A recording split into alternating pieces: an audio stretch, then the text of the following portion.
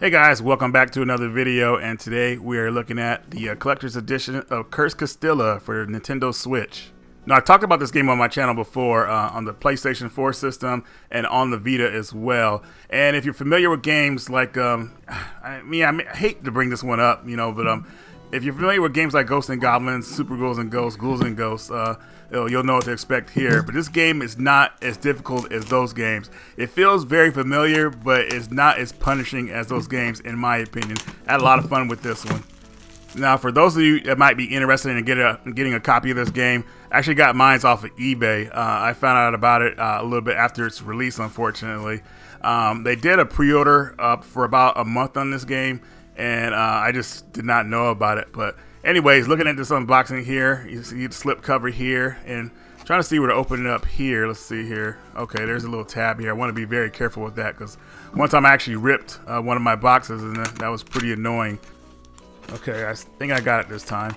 But anyway, so I got this on eBay, and it was funny. The guy that was selling it had like multiple copies, and he had the auctions ending on them one after another. So I bid on one, I would get outbid.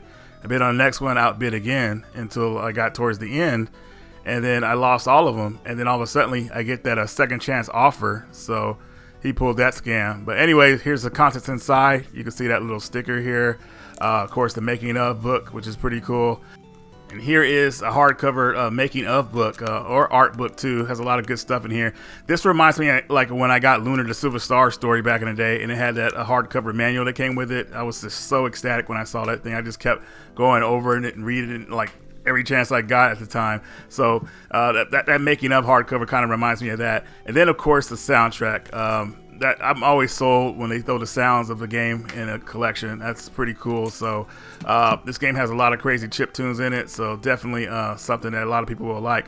Now this right here is like this uh, kind of like a stand-up arcade that they like they included with it. I'm not gonna put this thing together. I feel like that's just not really worth it.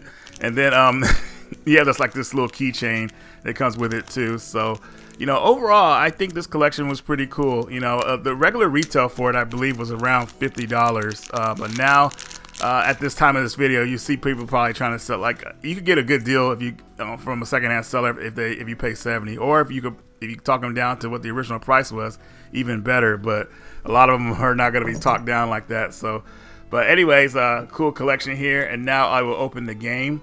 Uh, hopefully there's a manual inside of this, which I'm pretty sure there is, but you know, I don't know. It feels like there is, so but let's let's see.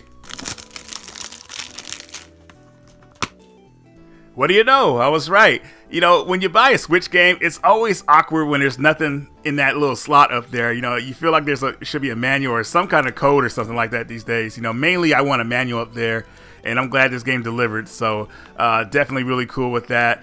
And overall, guys, I'm liking this collection so far. And if you have not played this game, it's definitely a must-have. I, I feel if you like platform games, you know, it's not hard like Super Ghouls and Ghosts or Ghosts and Goblins, like I said earlier in the video, but it is challenging and it is a lot of fun.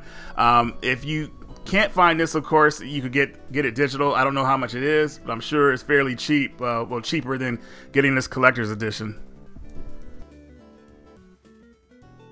All right, everyone. So I hope you enjoyed the video. Um, I'm gonna do more unboxings like this uh, uh, more frequently. I have, I think I have like five of them already uploaded. and I just gotta release them. Uh, I, I kind of like going back to doing these. This is a lot of fun. So have a lot of cool surprises for you guys in the future. Uh, but uh, yeah, let me know in the comments uh, what you guys think of this game. Anyways, guys, that's all I got for you, Radical Reggie, and I will see you all in the next video.